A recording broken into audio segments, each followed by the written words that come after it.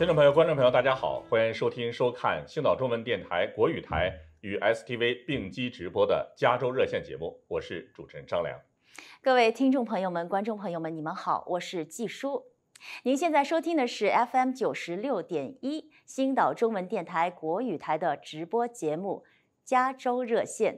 你也可以在 YouTube 搜索 STV 新电视频道，收看我们《加州热线》的视频直播节目。那么这几天啊，我想是一则消息，可能是让大家着实的招了一回急。嗯，这就是小业主武先生在阿拉米达县府门前绝食抗议房客欠租的事情。是。那我们加州热线节目呢，也第一时间赶到了现场做采访和了解情况。那今天加州热线节目呢，就专题来报道一下武先生绝食抗议的事情。在二月二十八号上午。阿拉米达县府门外啊，聚集了上百位手举标语牌的市民，人们高喊“取消租客保护条例”等口号，希望政府呢切实倾听小业主的心声。同时呢，也对在这里进行绝食抗议租客保护条例的武先生进行声援。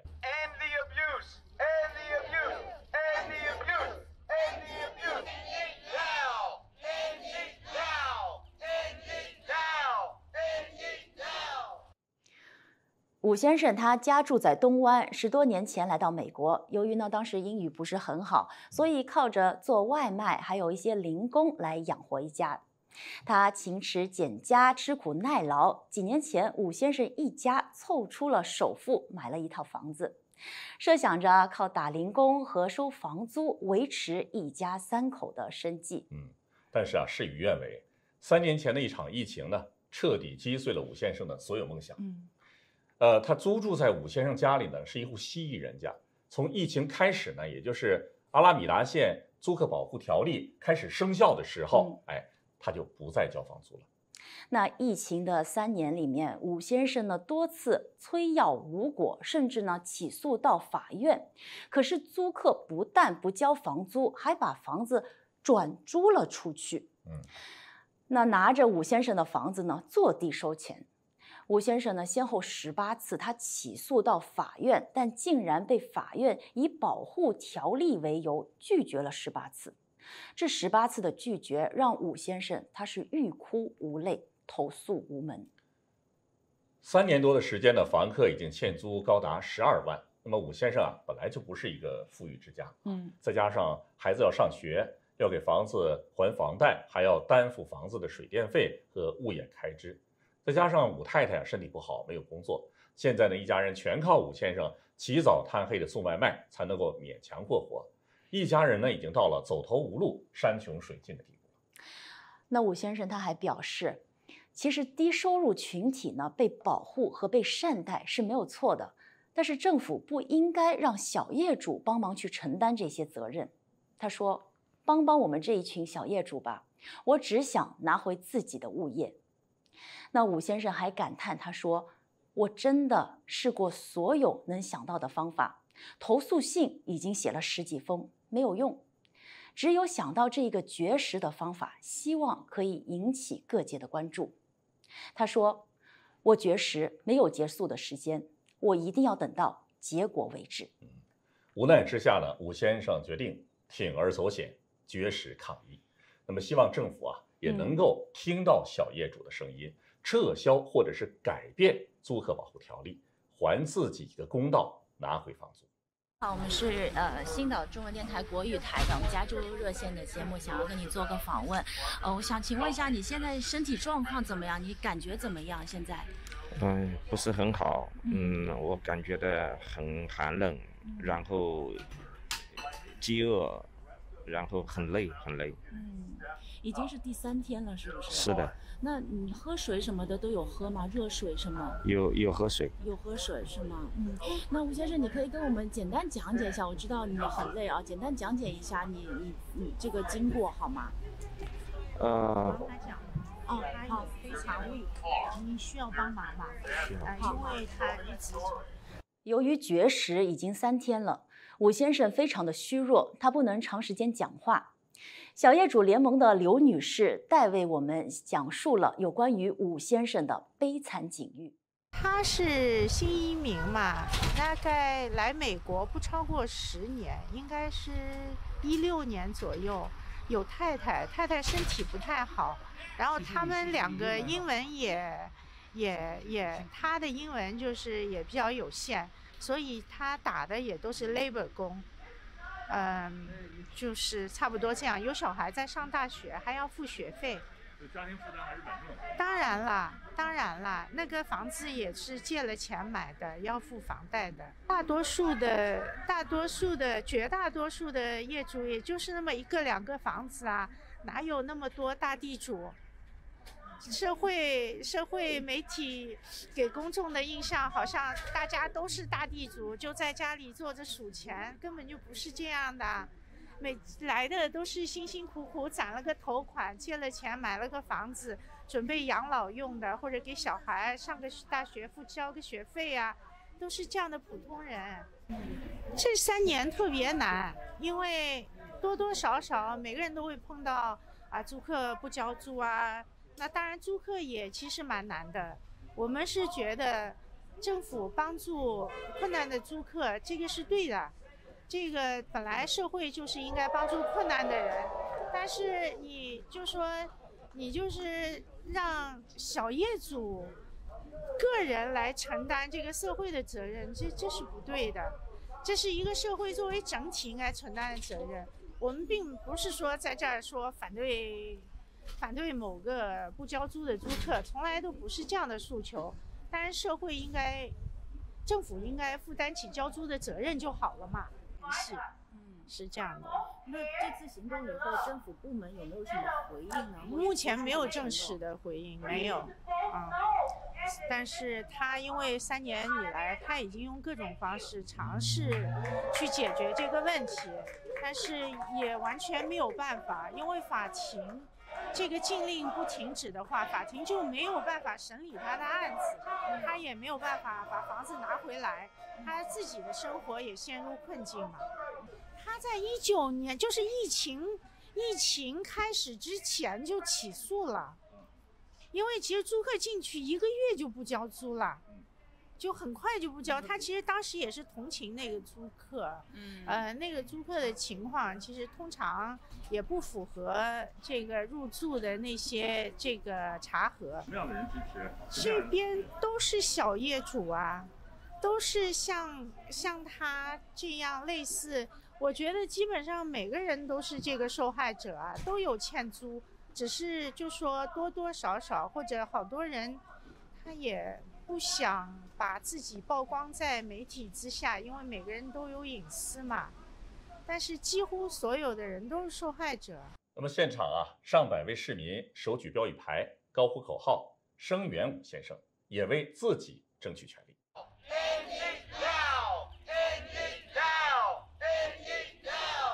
呃，我听说他绝食，我就觉得来就来支持他，因为这个。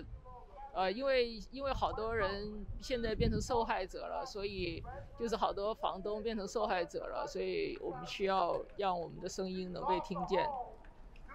比如说刚才有个有个单亲妈妈，她把房子租出去，结果她自己租租了一个一两个房间出去，结果她自己要搬出她自己住的地方，那个她自己的房子要要被收走了，她和她两个小孩都很小的小孩还要在外面。呃，受害还有这位吴先生也是，还有另外一位，呃，我觉得我们应该一起出来支持他的，因为，因为一个就是说对大家都有帮助，我们这个社会就需要一个，呃，需要一个那个，呃，他呃就是需要这个经济要要正常运作，然后大家都要遵纪守法。您也是小业主吗？呃，是的。那您遇没遇过这样的情况？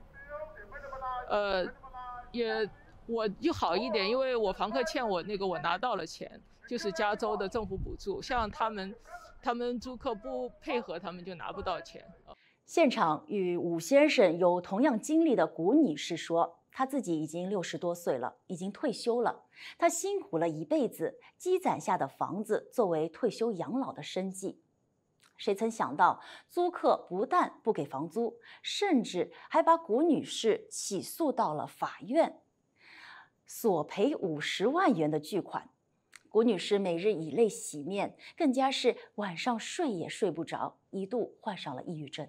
因为我看到她，就是跟我们的很多接近，因为我我是可以说是已经呃退休人员，我们只是辛辛苦苦的钱，我们买了一个房子就租，就是当做我们的退休金，但是我们收不到租金。而且甚至于房客还反咬我们，告我们。我现在的案子就是因为房客他已经搬走了，不交租金，已经有半年都不交租金。他搬走了，因为房客已经申请到 Section A，他搬走了三番四，但是他呢，就是有一些免费律师，就是跟他们讲，就是说你可以去告你的房东，你可以拿到钱。跟很多免费律师合伙起来，反咬房客，反咬房东。对不起，我们房东呢，就是我们这里群组里面总共有八个房东呢，同一个律师，免费律师告我们，就是要赔五十万，这个很不公平。能详细讲讲这个事儿来龙去脉是怎么回事？来龙去脉是怎么样？房客已经搬走了，那有些是还没有搬走，主要就是说现在这个免费律师呢。他在这个 Alameda County 或者是 Oakland 是非常有名。他主要就是说去找一些房客，那些房客呢要钱，主要就是房客要钱，律师也是要钱。他们串通起来，就是他们所谓的就是房东就是有钱人，我们可以跟房东就是去告他们。那房东就是乖乖的，因为有些是保险公司赔，有些是房东就是。没有保险的话，房东是有钱，就是说他一定会赔偿房客，然后房客拿到钱，然后呢，他是跟那个律师他们共同就是等于说有好处，所以我们觉得就是说，让你们是有钱了吗？我们不是有钱，我们辛辛苦苦的，因为我本身是已经六十五岁了，我本身也是等于说受害者，然后呢，我的案子是怎么样？就是说我没有钱，但是。就是因为我要请律师，我要请律师，然后律师也是要花钱，对方也要给我，变成说我受害者，我的律师我也要付钱，对方我的房客我也要付钱，然后房客的律师也要钱，所以我们变成我负担很大，我变成说我现成说，自从我被告以后，我一辈子活到六十几岁了。我从来没有被告过，我被告了之后，我现在变成说我有忧郁症了，每天都睡不好，然后每天都是想到这个事情，就是不知道要怎么生存下去。所以我是就是说我把这个事情，就是今天一定要特地跑过来，要表达，就是说我们做房东的很辛苦，很辛苦。我想说。我把这个案子结束以后，把房子卖掉，我不想要当房东了，真是很辛苦，很辛苦。我们不是有钱，房东他们所谓的是有钱，不是我们有钱，我们只不过是就是一个拿到一点钱是我们的，我们的养老金，血汗钱，血汗钱，我们也是点点滴滴的。和谷女士一样，现场聚集了很多小业主，他们是感同身受，对啊。同样的遭遇，同样的投诉无门。今天呢，他们聚在一起，共同努力，为自己的权益发声，也为自己的血汗钱呼喊。你想想看嘛，这个加州了，非常非常的不公平，对来业主来讲，对不对？非常的不公平啊！全部都是偏袒店面嘛，对不对？那我我我我自己也是，你看现在有已经 eviction 已经排了，你知道吗？可是他那个也是，他那个他的。他的理由就是他是单亲妈妈，还有几个小孩，五个小孩的妈妈，所以说已经我已经已经拿到 default charge，可是可是呢，他还是有去申请那边去 hearing，你知道吗？hearing 以后就他说他说我们的我们的 default judge 把他 side 不得 side，and then 然后叫我们去跟他妥协，你知道吗？这个非常的不公平，你知道吗？非常非常的不公平，你知道吗？凭什么他还是没有租房招，差不多也是三四个月，你知道吗？他还是你看啊，明明知道他们不交房租，对不对？还有它有很多 violation。以前我们的 list 里面 no animal，它没有宠物，现在四条狗，四条狗，本来就是住到他们的五六个人，现在已经住了好几个人，我都不晓得，你知道吗？然后弱势群体的保护，嗯呃，您是什么态度呢？这个态度的，你想想看嘛，我们也是不是说故意的把他把他赶走，你知道吗？我们也是，我们以前也是访客嘛，我们也是理解他。可是问题是他们非常的过分，你知道吗？非常非常的过分。天天你看他们就拿这个，诶，她是单亲妈妈，她有很多小孩照顾，理由这个理由来才对付我们呢？她全部都是免费的，她租了以后就她拿到的全部都是拿政府的。他的 assistant housing assistant，housing assistant 他的部分你要交，他不交，他的部分肯绝对都不交，所以说那边的他说六个月他不交的话就 stop，停掉。现在停掉了以后他也不付钱了，你想想看看，我们我们能做什么啊？这只有只有这一位行啊。可是问题是，你看这边的法法官呢也在偏袒租客啊，所以说这个非常非常的不公平，对不对？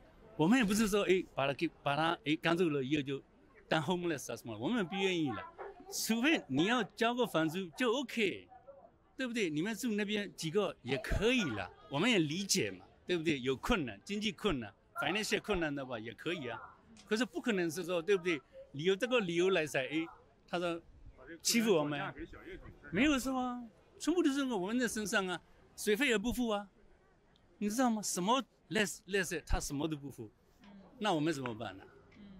对不对？所以说我们一定要来参加，以后也要继续奋斗，继续 fight 下去。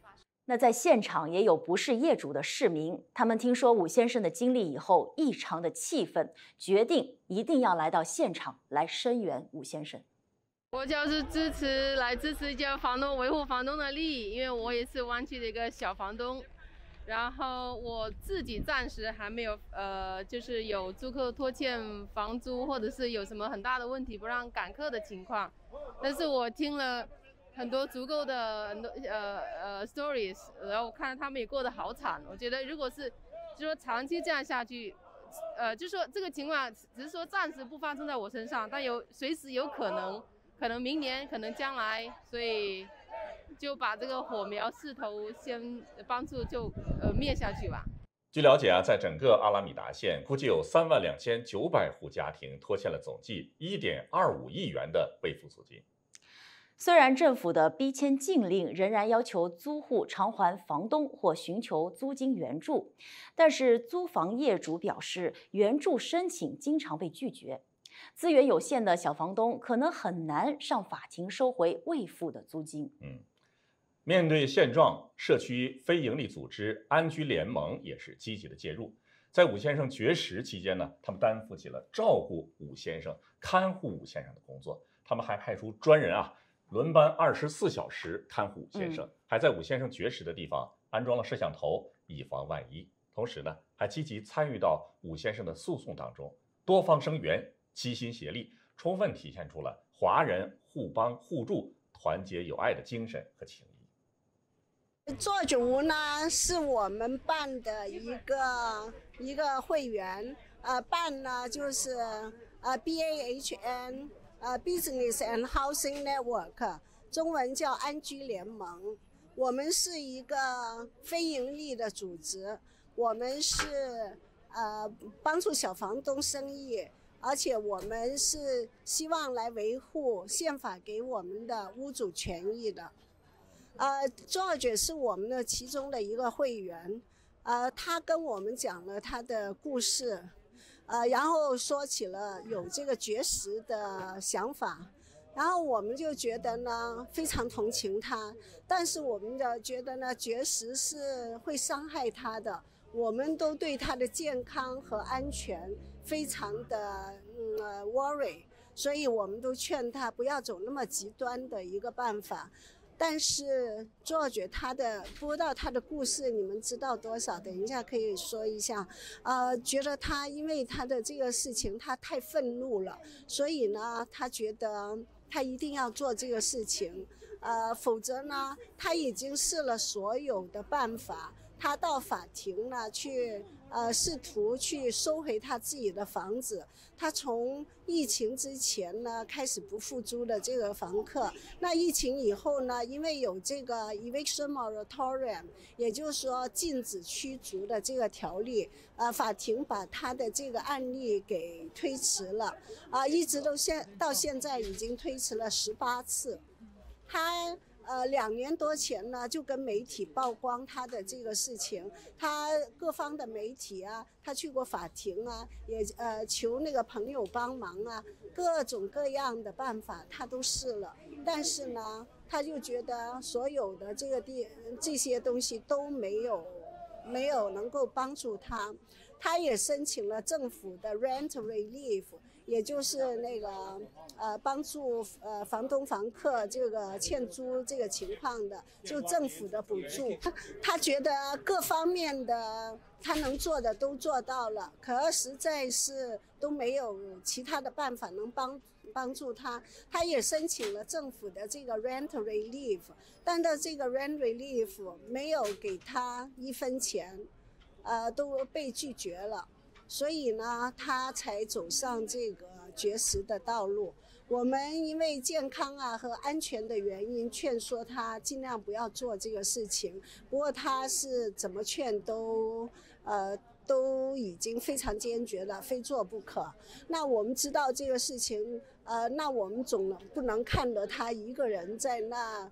呃，孤零零的在那受苦，所以我们办呢，也就这个安居联盟呢，我们就召集了义工，然后号召义工捐钱呐，什么来帮助他渡过难关。那我们现在呢，招了一些义工，日夜都来陪护他，来看一下他的健康情况啊，看一下周围有没有什么可疑的安全情况啊。呃，我们是希望能帮助他。呃，我们是希望，呃，这个阿拉米达 County 的 Board of Supervisor，等一下他们就要开会投票了。我们希望他能马上结束这个 Eviction Moratorium。小区领袖程希鹏也出现在现场，并且发表讲话，表达支持。程希鹏他表示，理解政府疫情期间保护无力交租的租客。但是这个条例再延长也解决不了问题，反而增加了矛盾。那久而久之，令租客更加没有动力靠自己努力赚钱交房租，同时也对小房东不公平。因为我来的原因，因为是不不单是 George 这个呃这个抗议活动，还有好好多这个湖的业业业主很很惨，所以我听了以后，我要跑过来支持他们。因为我我希望咱们都了解一个事情，这个租客不是我们的这个敌人，这个呃房这个房东也不是，最主要这个法律出来了以后，啊没有做得太好，因为第一，他我们保障这个呃租客是应该的，但是这个除了呃保障他们以外，也这个房东也需要保障，很可惜他没有做得太要这么，可是这个法律来来讲，没有保障这个呃呃业主呃他们这个呃 landlord 的一个问题。就是这个，他们还是要付这个呃银行这个每一个月供，还有这付的地税，所以基本上这个呃对我们来讲，这个太辛苦，也其实这是不可能发生。我们已经还有三年的时间是太长，所以我希望他们要这这个呃在呃 continue 这个 moratorium 都可以，但除非他们跟银行谈好，说不不能这个没有 foreclosure，也不要这个月供，也没有付这个地税，可以，要不然的话。这个所有这个呃 property owners 基本上就不可能来这个呃呃呃这支撑这个这么严重的负担。你看这样，好多的都是比较呃有些这个有孩有几个孩子的呃呃这个妈妈担心的妈妈，还有这个呃 handicap 什么都有，老人老人都是受害者。所以我们希望啊这个 county supervisor 能这个决定好，把这个 moratorium 啊这个呃修改，又不是修改的话。最好是完全把它推翻是最好。那么据了解啊，美国暂停驱逐租客令最初呢是在二零二零年九月四号开始实施的。由于美国疾病控制与预防中心发布，那么这项暂停令呢，旨在是防止由于新冠疫情而失去收入的租户被驱逐出租房的市场，并为他们提供一些经济上的帮助和保护。这个命令呢一度延长到了二零二一年的六月三十号。随后呢，在二零二一年六月二十四号再次延长。加州阿拉米达县暂停驱逐租客令最初是在二零二零年的三月二十四日开始实施的。那当时由于新冠疫情的影响，该县呢发布了一项紧急命令，暂停了所有在疫情期间因为无法支付租金而面临被驱逐的租户的驱逐程序。该命令呢一度延长到二零二一年一月三十一日，随后呢又在二零二一年一月二十六日再次延长至今。记者二十八号晚间收到了一个最新的消息啊，也算是一个好消息了。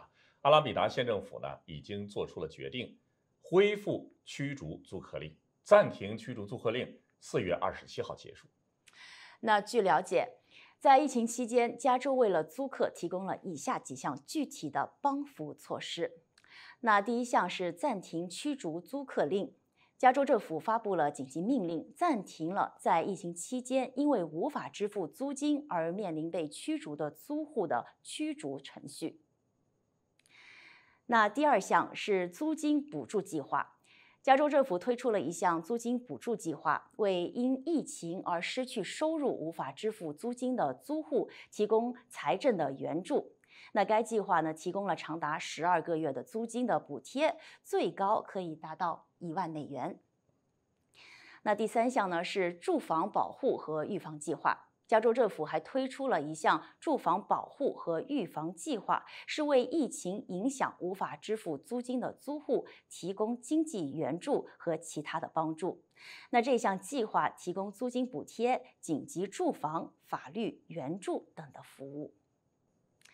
还有一些其他的措施，包括加州政府还颁布了一项紧急命令，禁止房东在疫情期间对因为无法支付租金而拖欠租金的租户进行信用评级、索取滞纳金或者是罚款等行为。此外呢，政府还要求租户和房东在交流的时候保持开放、透明和合作，共同解决住房的问题。嗯。截至二零二二年底啊，加州租户欠租情况仍然是比较严峻的。